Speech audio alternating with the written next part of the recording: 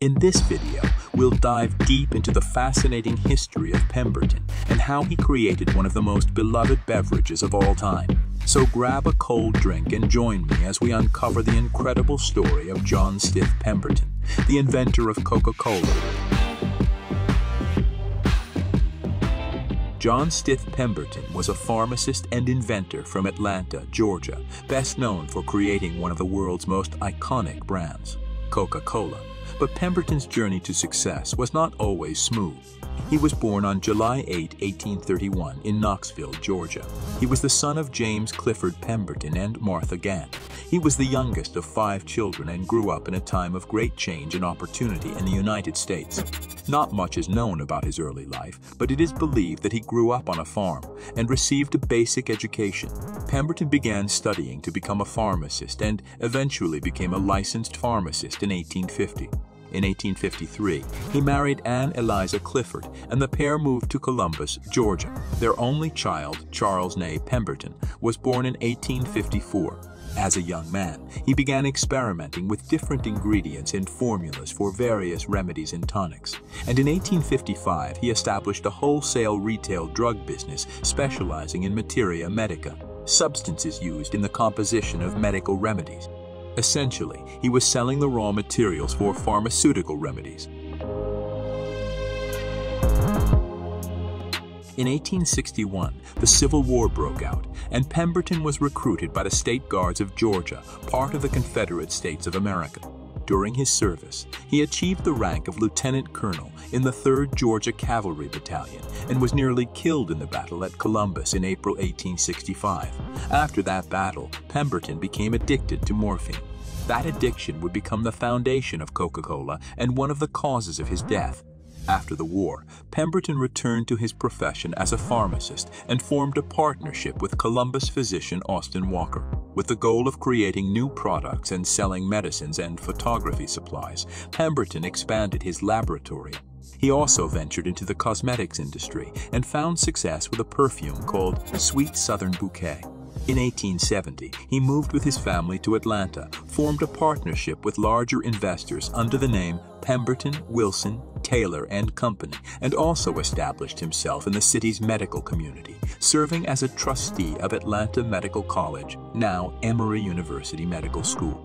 His labs were modern and advanced and still serve as a soil and crop chemical testing facility for the Georgia Department of Agriculture. Throughout this time, Pemberton struggled with a morphine addiction and began to search for a remedy. At the same time, in Italy, a chemist named Angelo Mariani combined coca leaves with French wine and created a drink called Vin Mariani. The drink was a massive success. Jules Verne, Alexander Dumas, and Arthur Conan Doyle were among literary figures said to have used it. Seeing the commercial success of Vin Mariani, John Pemberton created the first ever version of cola, named Pemberton's French Wine Coca. His product contained coca leaves from South America, which were precursors to cocaine, and Pemberton billed the drink, which was served at pharmacy counters as a nerve tonic, a mental aid, a headache remedy, and a cure for morphine addiction. He admitted to an Atlanta newspaper reporter that he had based Pemberton's French wine coca on an Italian-French product, Vin Mariani, but added extracts from other tropical plants the caffeine containing cola nut produced by a genus of African trees, and Damiana, a Central American shrub leaf reputed to have aphrodisiac properties. The drink was launched in 1885 and was a success, but Pemberton's happiness was short-lived. Just one year later, the discussion of alcohol prohibition began to circulate within Atlanta's city government, and it was eventually implemented. Concerned that his rapidly growing product could be banned, Pemberton began new experiments in his Atlanta home on Marietta Street, using a home laboratory where he would work late into the night.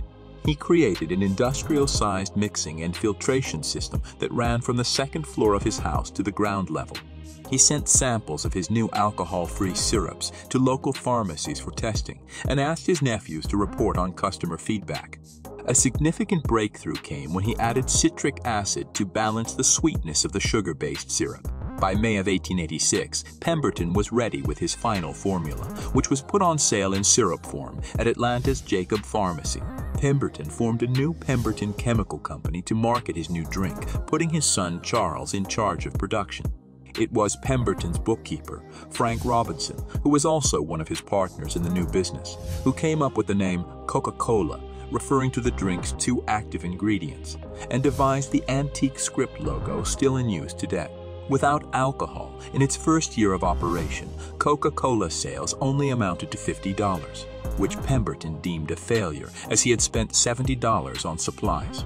However, Robinson believed that more exposure was needed and convinced Pemberton to invest in marketing efforts, such as giving away free drink coupons and advertising Coca-Cola in Atlanta with banners, streetcar placards, and store awnings displaying the message, Drink Coca-Cola.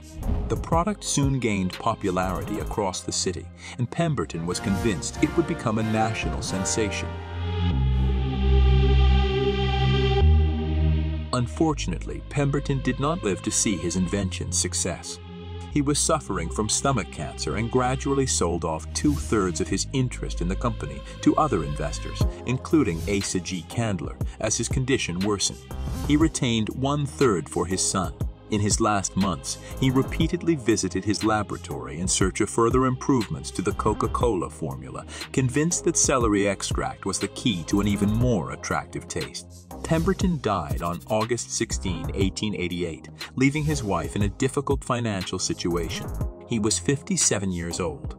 A struggle for control of Coca-Cola ensued after his death. The financial machinations that occurred were complex, with rights to both the name Coca-Cola and the formula for the drink under dispute, and it is unclear how Asa Candler gained control of the company from Charles Pemberton and the other investors. By 1905, fresh coca leaves were removed from Coca-Cola, and by the 1930s, the drink had become a staple of American culture. Today, the brand is recognized and enjoyed by people all over the world, making Pemberton one of the most successful and influential business people in history. And there you have it, the remarkable and captivating story of John Stith Pemberton, the creator of Coca-Cola, a tale of resilience, innovation, and perseverance, underscored by personal struggles and battles. Pemberton's legacy is a testament to the power of creativity and determination, a man whose vision, though not fully realized in his lifetime, went on to become a global sensation. Thank you for joining me on this incredible journey. If you found this story as fascinating as I did, don't forget to like, comment, and share this video. For more intriguing stories from history and beyond, hit that subscribe button and turn on notifications.